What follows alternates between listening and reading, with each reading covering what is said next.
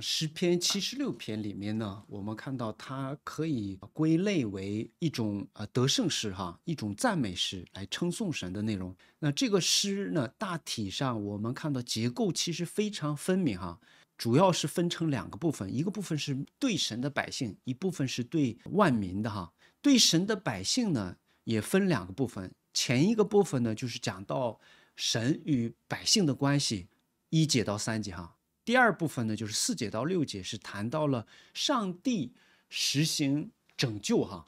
拯救他的百姓。关于与万民或者说那些不敬畏神的人呢，非神的百姓的关系呢，首先第一，我们看到七节到八节里面谈到了七节到九节，哈，谈到了上帝实行审判，哈，对他们实行的审判。然后十节到十二节呢，就我们看到最后万民。归向上帝这样的内容哈，我们来逐逐部分来看。首先，第一部分就是关于神与他的百姓的关系。那在这里面，我们看到一节里面说到在犹大，在以色列；二节里面耶撒冷和西安，这个是非希伯来是常见的这种对对称的关系哈。在犹大，在以色列，其实都是一个一个意思哈。虽然南国北国分裂之后呢，南国犹大，北国以色列都是统称。作为神的百姓，哈，为什么我们看到，呃，以色列啊、雅各啊、什么以法莲呐等等、便雅悯呐等等，很多的时候用部分代替全部，哈，所以不一定非指这个就是犹大，哈，所以这是一种诗歌的表现方式，都是指神的选民以色列人，哈，以色列人不是政治上的这个犹大。南国犹大和北国以色列这个概念，哈，是用来指神的百姓。那么在犹大，上帝为人所认识，哈，在以色列，他的名在人的心中是被尊为大的。其实这两个意思是非常相反。人们认识他，人们认识他，就不可能不尊他为大，对不对？所以在这里面，我们看到神与他的百姓的关系是：上帝屈就他自己，上帝向他们显现。启示他自己，所以他的百姓才能够认识他。上帝是主动创造的神，上帝主动实行拯救的神，上帝更是借着他应许向神的百姓显启示他自己的神，然后赐下应许实行拯救的这样神。神先找到亚伯拉罕，那个时候亚伯拉罕跟着他父亲他拉吧，在加勒底的乌尔，他父亲是制造偶像、贩卖偶像的人。那不晓得亚伯拉罕有没有参与到拜偶像里面？呃，古代近东那个时候祭祀的话，礼拜的话，基本上是家族性的哈，呃，难免他也是个拜偶像的人哈，这是我们做的一个适当的推测。也就是说，他并不是一个敬虔的民，不是敬虔的民，他也是一个不敬虔的人。但是上帝却主动显现，呼召他，介绍自己，启示自己，然后应许给他，这就是恩典哈。上帝屈就自己，不但没有以审判主面对。一个亚当的后裔向他施怒，是而是在罪人当中，在泥巴一样的人当中，他主动的拣选、呼召那个他所拣选的人哈。所以这里面为人所认识，神之所以能够被我们认识，是因为神仙爱了我们，神仙觉醒了我们，神主动向我们启示显现，否则我们不可能认识。最强有力的见证就是我们自己哈。我们作为中国人，我们不是犹太人。我们的祖先不是敬畏上帝的人哈，虽然这个上帝在中国的语境当中，佛教徒也好，中国古代文学里面作品里面有上帝这样的词汇，但是跟希伯来人的上帝不是一回事儿哈。不要以为翻译圣经是用了同一个上帝的词，就以为我们过去的这个先祖们似乎得到了神的启示，圣经里面的上帝耶和华上帝像我们想，你看是有上帝吧？中文翻译版是用了那个词哈，所以不要以为。是同一回事儿，所以在这里面，我们看到我们这些从来不认识上帝的人，属于外族人，甚至我们有自己民族的神的概念，自己民族的这个偶像信仰是背逆神，不是敬拜神，不敬虔的后裔。但是上帝却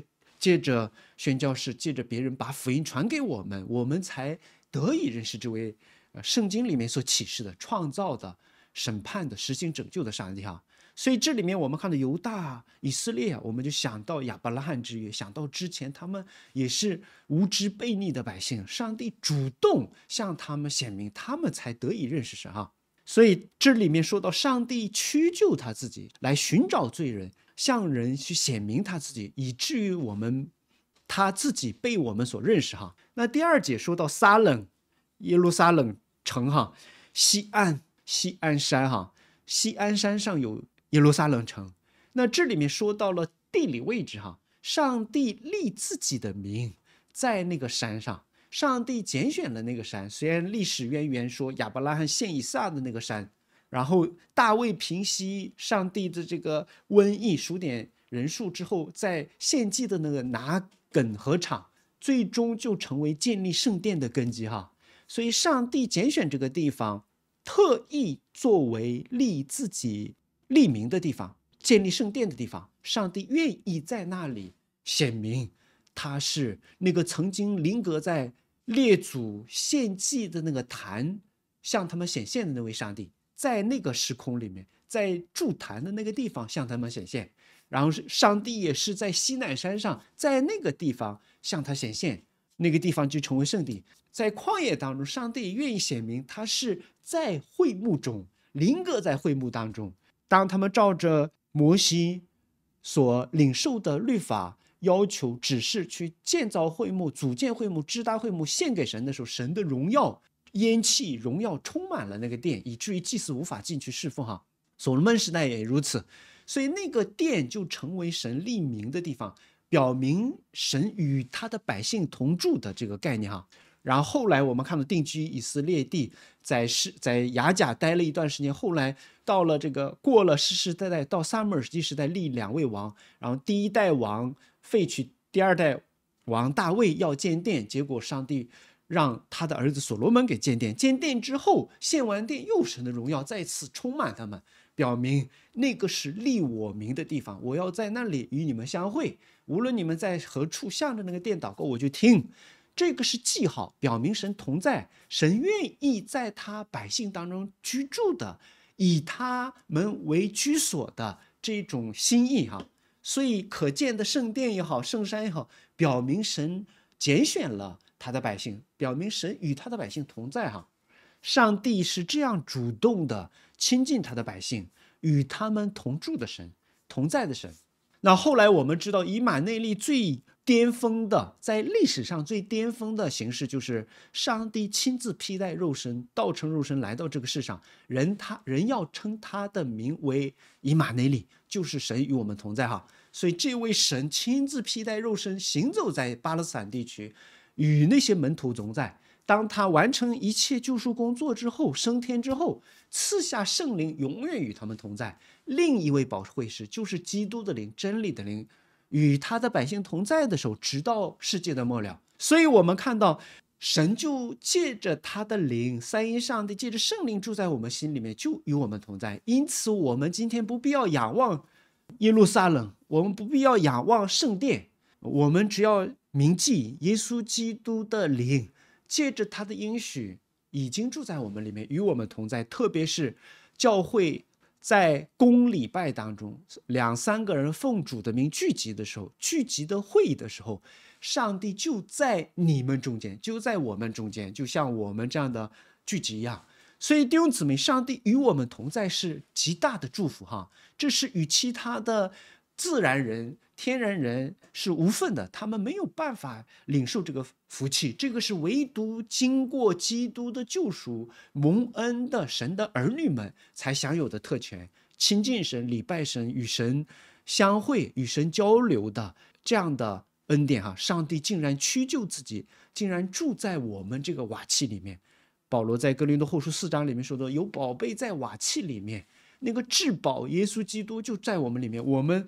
如同卑贱的器皿一样，但是上帝却愿意以我们为殿，住在我们中间。哈，这是表明他对我们的怜悯，透过救赎恩约与我们同在的这位上帝。哈。”不但如此，我们看到三节往后，他在那里折断弓上的火箭、盾牌等等，一种战争的场面。哈，耶和华就以一种勇猛的战士的一种身份、一种角色表现出来。他折断那些攻击他百姓、攻击圣城的那些兵器，无论是弓还是火箭，无论是盾牌还是刀剑，征战的兵器都被他摧毁。哈。这个图画我们看到出埃及记的时候，呃，让我们历历在目哈，印象非常深刻。法老的军兵带着那个尖锐的那个战车，在当时埃及是世界强国哈，他们最出名的就是马匹和战车，甚至后来多年四五百年之后，那个那个时候他们仍然是从埃及购买马匹和战车哈，所以他这个是非常呃强大的。当时的法老就是因为耶和华的眼目看他们，结果他们的车轮就这个断了轴，马就跌倒，然后这些等等，所有强有力的攻击的武器都在上帝的面前被上帝所摧毁，使他们丧失战斗力。哈，这个场面就是描述这个事情，所有攻击神百姓的那些筹划的力量、资源、武器都将失效。哈。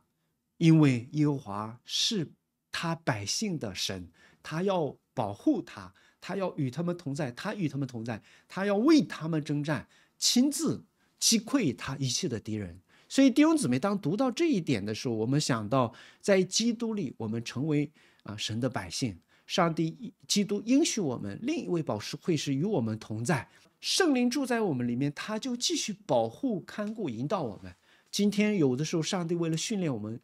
暂时允许我们经历各样的逼迫、患难、试炼，这是为了成就他的美意，与基督一同受苦，一同得荣耀。但是在上帝所不允许的情况下，没有任何的工具、恶谋、筹划、力量可以肆意的去攻击我们。因为旧约圣经里面，呃，无论是亚伯拉罕之约，与你为敌的，我就与他们为敌；哈，祝福你的，我就祝福你。所以，我们是在。信仰里面是亚伯拉罕的后裔一同承受亚伯拉罕之约的应许哈，特别是我们与基督联合之后，基督教会成为基督的身体，那些攻击教会的人其实就是攻击神自己。所以保罗在悔改那瞬间的时候，听到耶稣复活的耶稣复活的基督跟他讲，为什么逼迫我？保罗分明是逼迫那些他认为异端的。这些基督徒，但是耶稣却说：“你逼迫他们，就是逼迫我哈，因为你逼迫了基督的身体，是成为一的一个共同体哈。基督的所有的荣耀、都祝福、成就的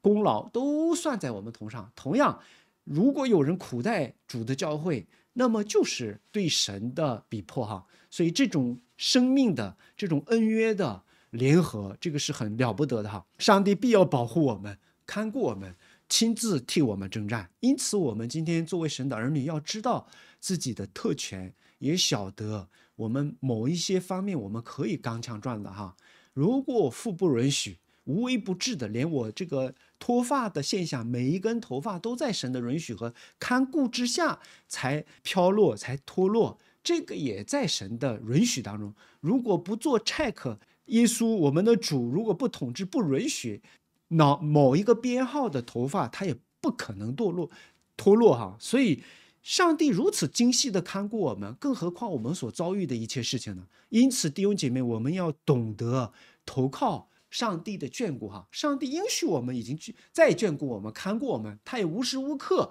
像旧约圣经，在我们众山怎样围绕耶路撒冷。啊，耶和华也必照样围绕他的百姓，他在保护看顾我们哈，在眷顾我们。这个事实我们一定要知道，以信心去接受。不是说我信神就神就成为什么样，而是神就是这样。我知道的时候，透过圣经知道的时候，我接受这个事实哈。所以这个很重要，弟兄姊妹。虽然我们可能在这个世世上看似很平凡。但是我们不是普通人哈，我们是有基督的印记在我们身上，我们是用基督的宝血所分别为圣，买来特归于基督属神的百姓哈，我们是属天的百姓，在地上是客旅是寄居的，呃，我们在地上有神的使命，因此我们一定要留意，不要忽视自己尊贵的地位。所以纵然神允许我们在这个邪恶的时代里会遭遇逼迫、患难、攻击。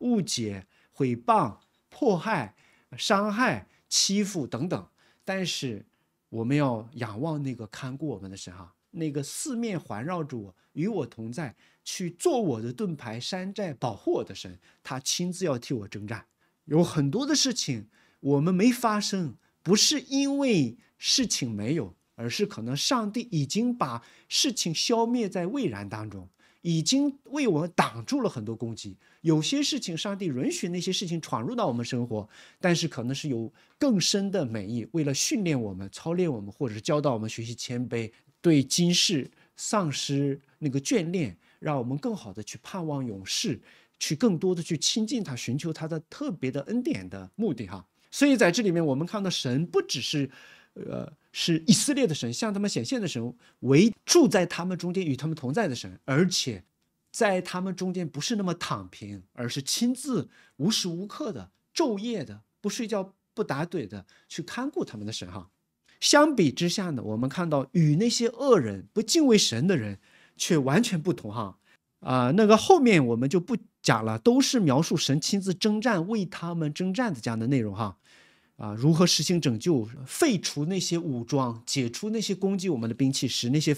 军人、使那些武器丧失哈，呃，战马什么战车都沉睡啊等等，对神对我们保护、废除他们攻击的力量的一种表现哈。那七姐到后面呢，就谈到了他与神百姓之外的人的关系哈。你唯独你是可畏的，你的怒气一发，谁能在你面前站立得住呢？你从天上使人听审判，这里面就说到了对应的哈，大家要注意这个结构。这个四个段落呢，外层的对应的是与神百姓的关系，后面是那些其他的万民与神的关系哈。中间呢，第一段是神实行拯救。然后我们现在读的这一段七节到九节是神实行审判，对神的百姓实行拯救，对那些不是神的百姓、非神的百姓实行审判啊。所以在这里面说，你一发怒，怒气是表明神的公义圣洁，上帝发怒是表明神的这种审判哈。然后你从天上使人听判断，上帝起来实行审判，要救地上所有的困苦人。前面描述了那些攻击神的百姓，神的城。面临着恶人的攻击和围绕，忍受各样痛苦。启示录里让我们勾勒出来那些殉道者，那些遭神毁谤、被逼迫、被杀、被攻击的羔羊的城，受到敌人的攻击，但是神亲自要实行审判，要征战哈。所以那些恶人、那些不敬畏神的人，虽然使神的百姓在地上遭遇困苦，但是终究有一天神要实行审判，在审判面前。他们只能恐惧战警，然后静默，没有什么可说的，没有什么可辩驳的，没有什么可张扬的，只能是在那承受审判哈。所以弟兄姊妹，这也是成为安慰。前面是讲到回顾性的，上帝如何回拯救我们的百姓；后面讲到审判是前瞻性的，将来有一天上帝最终要实行审判，所有的。恶人对待神百姓所行的一切的恶，上帝最终有一个清算的日子，大而可畏的日子，要实行审判的日子，区分山羊绵羊的日子。那些不敬畏神、不侍奉神的人，都要遭到神的咒诅和审判的人，那个日子一定来。那些苦待神的百姓，其实就是抵挡神，他们恨你，以前已经恨我了哈。他们逼迫你们，以前已经在恨神了哈。他们之所以因恨你们，是因为。恨神的缘故，认认识神的必然认识你们，对不对？所以弟兄姊妹在这里，我们看到最终神要审判那些恶人，因此对我们，我们要知道两点：第一是客观的事实，将来一定要审判的日子，所以我们有盼望，将来有清算的日子，那是世界的末了，最终人类历史画上旧的时代要画上一个句号，要开启新的。纪元的那个时代啊，虽然现在在新约，耶稣基督已经开始了，但是完全旧的世界废除了，被更新之后，那是完全是被成全的另一种状态哈。第二，第一是将来那个时间，让我们盼望；第二，给我们带来安慰。现在虽然受苦难、受逼迫、受欺压，但是我们知道，上帝都知道，上帝都记着，最终一定会实行审判，因此我们就不至于绝望。